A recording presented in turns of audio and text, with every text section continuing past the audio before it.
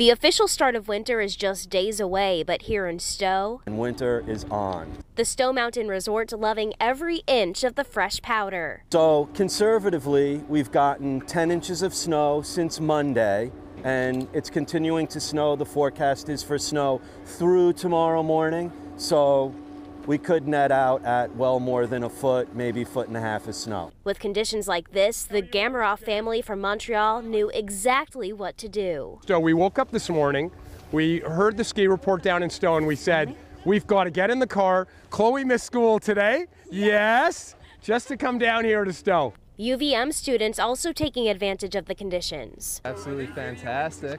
Treading the POW. But Jeff Wise with the Stowe Mountain Resort says the best is still yet to come. With the great temperatures that we have between now and Christmas, we'll pretty much be making snow around the clock and we will be 100% open by Christmas. 100% open means 116 trails to choose from. But for early December, the resort considers this fresh snow an early Christmas present. It's a powder day in Stowe. Wise says it's a great start to the ski season in the heart of the Green Mountains.